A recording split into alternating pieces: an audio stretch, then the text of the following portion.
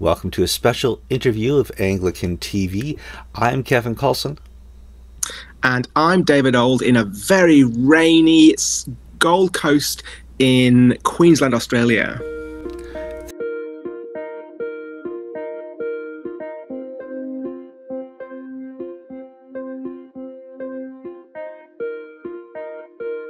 All right, we're going to get an update from the synod happening over in Australia. It has an official title that it's too early in the morning for me to discuss. So let me help you out, Kevin. Yes, go for it. It is the General Synod of the Anglican Church of Australia. We normally meet every three years, but it's been mm-hmm. five years because of COVID. But finally, we're meeting together, and there has been a lot to talk about. Yes, there is. Now I'm recording this here at 8:30 a.m in uh, the east coast of America. What time is it where you are, David? It is 10:30 at night, Kevin, and I've been on the go since about 6:30 in the morning. My alarm was set. I got up, I went to the gym, uh, and that was pretty much the only time to myself I had all day. Okay. So let's share. There's been a lot of news. The the biggest news I saw was from an Australian newspaper that said conservatives crushed in the by the Senate. So let's talk about the, the big news that happened first. Sure. So we had a big vote on um, on a statement. Probably best, uh, first of all, to just remind your viewers of the background to what's going sure. on here. So, obviously, a number of years ago, the Australian Parliament passed uh, a change to the Marriage Act, allowing same sex marriage. Nothing new there. It's happened in a lot of different places, but that, of course, presented a unique challenge to the Anglican Church of Australia. How do we uh, respond to that? And um, as in other places, a number of uh, more revisionist dioceses wanted to provide blessings of uh, people in same sex marriages. So, a number of bills were passed in, particularly in Wangaratta Diocese and in the Newcastle Diocese. And um, those bills having been passed, the then primate, Archbishop Philip Freier of Melbourne, uh, sent a submission to the Appellate Tribunal of the Anglican Church of Australia, which is essentially um, a, a, a, a high court in the church that offers opinions. And the question was are these bills, are these ceremonies consistent with the Anglican Church of Australia's constitution?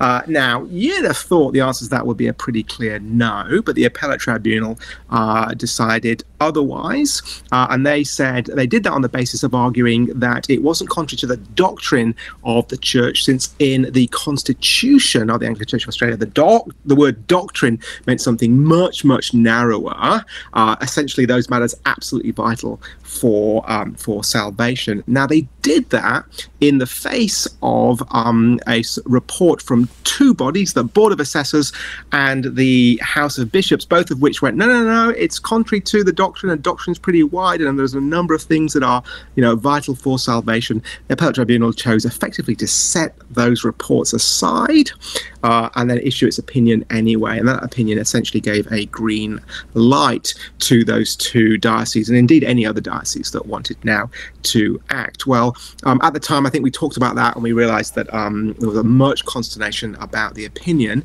Uh, and so the Diocese of Sydney has led a, a, move, but supported by many others across Australia, to um, affirm two statements. And that language of statement is very clear because a statement in our constitution is a way of the General Synod saying this is what we believe on a matter. And indeed, the appellate tribunal itself had said, look, uh, we've left uh, un- unresolved that that that broader uh, um, uh, um, sense of what's going on. And in previous rulings, it's also said that statements were a really good way for General Synod to uh, show what it thinks, and that indeed that was the right place to decide uh, these matters. So we went, all right, well, let's have a statement, uh, and we've actually had two statements that we we debated, and the big one we want and we want to talk about is this statement number one, which is a statement on marriage as the union of a man and a woman. It's got four essential clauses to it. Uh, um, one, that the faith, ritual, ceremonial, and discipline of the church reflects and upholds marriage, and it gives you the classical definition of marriage. Um, and it just reminds us that previous resolutions do not condone liturgical blessing of same sex relationships. Uh, it then um, also uh, says that solemnization of a marriage between a same sex couple is contrary to the teaching of Christ and the faith, and so on. And also the blessing of a same sex marriage. So, those two distinctions is right. also contrary to the faith. Uh, and so what we're doing is we're clearly saying this is here's the orthodox position uh, on marriage, and uh, those statements were circulated uh, at least three or four months, I think, before General Synod met. So we all knew uh, uh, where we were going on that. There's another statement uh, really dealing with the definition of, of chastity and unchastity, which might sound like a particularly weird thing to be debating, but chastity and unchastity is a term that's used in our um, guidelines for clergy behavior called faithfulness and service. So it's an important term for us to define. And we're basically going, chastity means what it's always mean, meant. Um, if you're chaste, you have sexual relations in the right way. To be unchaste is any sexual activity outside of marriage. So those two statements are the ones we debated, but statement number one was the one that actually um, has been fascinating. Fascinating, but did, did it pass? Well, so there's the thing. Um, we had a long debate uh, yesterday evening, which I don't even remember when that was now. Uh, more than 24 hours ago, we began the debate, uh, and the debate debate began with a number of amendments to the debate. And, and anybody familiar with uh, with this kind of thing would, would recognize what's going on uh, in a lot of those amendments. And, and, essentially, the amendments all sought to do the same thing, which is to say, no, this is currently our position. This is currently our position. Uh, it could change in the future, that kind of thing. Um, those kinds of amendments, and there were three of them, all failed by around the same number in toto uh, in the synod, and that was they failed by about 90 to 150, mm-hmm. uh, which told us immediately that across the whole of General Synod, there's over 60% uh, who who were basically holding to the um, orthodox uh, position. There was one amendment that actually did um, did get up that um, uh, made some alterations to the text of the statement, uh, and that was accepted by the movers, and and that that went up by 195 uh, uh, um, for, so it, re- it, really went through. Uh, but the the amended statement that we finally debated uh, was um, was pretty much. Uh, I mean, it was in line with what was originally there. got to the main uh, part of the debate of the amended motion and all the usual arguments there. You know, Matthew 19, Jesus isn't really. You can't talk about marriage there. He's just really responding to divorce.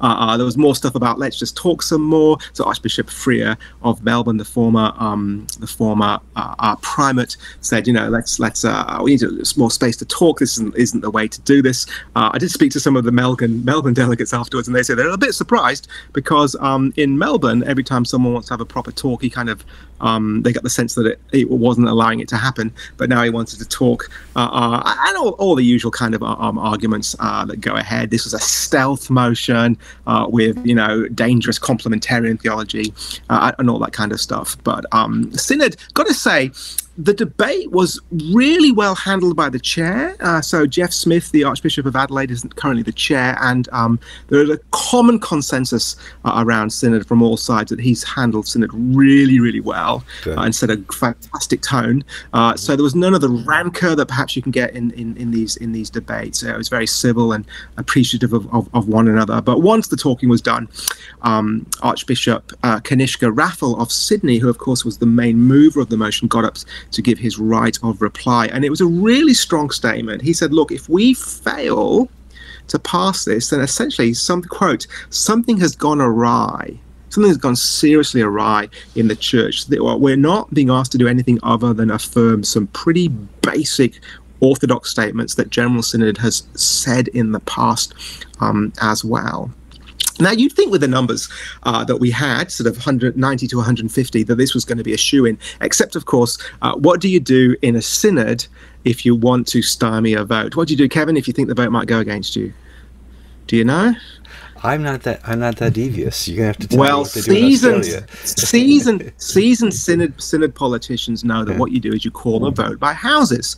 So of course, synod is made up of laity and clergy, and then a house of bishops. Now, uh, what's great in on Australia is that our constitution says there's one bishop for every diocese, the diocesan mm. bishop. But then for the individual diocese, they get one lay and one clergy delegate for every 20 ordained clergy in a, in a full time position. Mm. So the bigger diocese yeah. Of course, is by far and away the biggest diocese in Australia. They get many, many more delegates, and that's why there's this substantial now uh, um, conservative Orthodox uh, uh, majority now we're seeing um, across across synod because obviously uh, we know historically it's the conservative, evangelical, and and and, and thoroughly believing Anglo Catholics uh, where churches are growing, and so they grow, and there's more clergy, uh, and the liberal diocese, surprise, surprise, are, are, are dying The numbers in clergy and laity. The question was were the House of Bishops going to come? There are 23 diocesan bishops and then one um, Aboriginal and Torres Strait Islander bishop representing Indigenous peoples, First Nation peoples. So uh, um, that's where we were at, and so a vote was called by houses as we fully expected, and and we had wondered now whether it would get up in bishops, and this was always going to be the issue. Uh, went to the laity first. I'm just reading from my notes, excuse me, and it passed the laity 63 to 47, which is pretty nice. still a pretty substantial yeah. uh, margin. Went to the clergy then, uh, and we were voting electronically at this point, so we can get the numbers um, um, exactly. Uh, went to clergy um, 70 to 39 which is a, a, really cracking result. I mean, it shows that the clergy are thoroughly orthodox. And I know right now there's members of the Episcopal Church going, wow. I know. But just an indication of the strength of, sure. of uh, and long-term work of gospel ministry. And then it went to the House of Bishops. Mm. And we, the, you could have cut the air with a knife. Uh, when the result finally came back, the um, bishops had rejected it uh, um, by 10 to 12. Uh, uh, and uh, to say that that landed poorly in the room would be to to to uh, to understate the matter. Sure. Uh, um, uh, Archbishop um, Raffel then um, sought leave to make a personal statement, which he did, and he expressed his sorrow about things and just said, "Look, we're we're we're in a serious position now." Uh, and we all need to um, stop and think about uh, what we need to do. Uh, the time then was about 10 past 12, um, just gone past midday, and lunch was scheduled for 12:30. And um, he asked that we, at that point, we just we take we take a break. Uh, um, I think he said it in a far better way than that, and probably in a more with more pious language. Like, you know, and we do need to stop and reflect, and, and there was a sense that we all need to stop and think about what to do. Um, uh, I think in error, then some of the main opponents of of the bill objected to that and wanted to just carry on, which probably misread the room at that point because there was a sense that most people acknowledged something quite significant um, um, had happened. Uh, anyway, we ended up we ended up getting that adjournment, and so we t- essentially took a long lunch. Uh, uh, uh, when we came back, uh, Bishop Chris Edwards of Sydney uh, um, gave notice of a motion uh, that actually asked the bishops to repent. Now that motion didn't get read at that point. It, it, the chair decided that wanted to pursue other business, and those that were moving it didn't push the matter. I mean, understanding orders, they could have asked for a suspension and got on with it, but they didn't push the matter at that sense. and so we moved on to other things. We actually debated the the second statement, which went along similar numbers, and then remarkably, um, the bishops actually voted for it uh, uh, by uh, by a couple, uh, and that was the one that, that, that, dealt with the definition of chastity. Uh, um, but that one also, ironically, also affirmed the Book of Common Prayer definition of, of one man and one woman for marriage. So we ended up in this ridiculously confusing. We ended up in this ridiculously confusing situation where they affirmed but not affirmed it. Uh, and then the difference really was the matter of same sex marriage. So some bishops were just utterly unwilling to go, we cannot do same sex marriage. They were unwilling to take that position, uh, and so didn't do that. Anyway, so we're, it's a bit of a mess. Uh, i got to say, uh, um, there was a lot of unhappiness. Um, a lot of unhappiness um, in Synod at that point. Um, and, and it really was a, a sense of great disappointment and sadness that so many bishops were unable to uphold the faith that the rest of Synod clearly passionately believed. Um, and I've got to say, walking around the room when we had that extended lunch break, um, just trying to get a sense of the room, um, there were a good number of tears all in the eyes of, of the Orthodox and a significant amount of praying. And again, it was the Orthodox traditionalists that were that were that were doing the praying. So um, it was a, it was um, a palpable sense of sadness, I think, more than anger.